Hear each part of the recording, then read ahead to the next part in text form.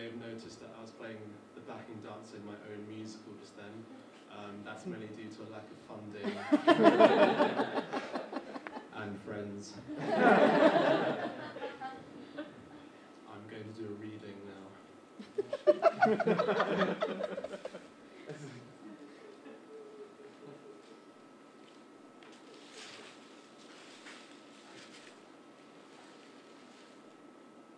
This scene is called Conversation at a Party, in brackets, feelings of inadequacy.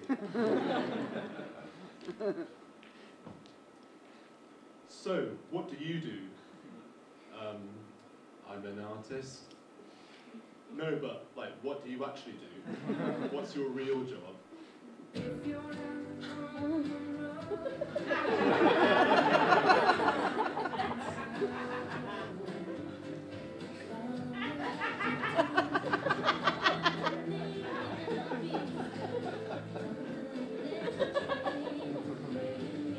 Um,